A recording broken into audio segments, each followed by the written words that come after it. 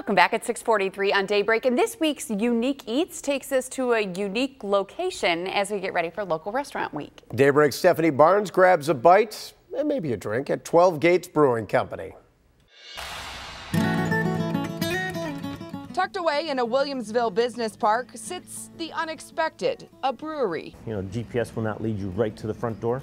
It will lead you to the uh, driveway, but you have to turn into that driveway and head to the back. A bit of a scavenger hunt to actually find the place, but once you do, you'll be glad you did. 12 Gates Brewing is a startup company that's all about the hop forward beers. Everything uh, is brewed right here, uh, right behind the, the, the glass wall. The brewery is one of more than 200 restaurants participating in Local Restaurant Week, a week twice a year where Western New York eateries offer deals on their menus to encourage people to get out and eat local. You'll be getting two flatbread pizzas, two beers for 2018.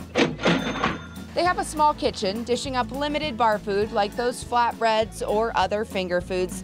But for what they don't offer from the kitchen, they make up on tap. They have a rotation of wheat beers, a Saison, a coffee porter, and their flagship West Coast style IPA. Some clever names that might pique your interest too, like the Yoga Pants. That's just an in-house uh, blonde ale.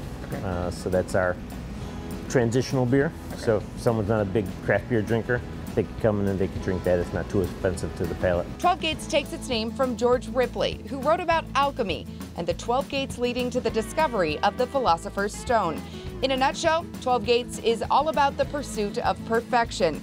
And that's what this brewery is all about too. We are trying to create the perfect beer, and but do you ever attain it? While 12 Gates continues to work toward perfecting their craft, you can work toward checking off your restaurant bucket list throughout this spring's local restaurant week.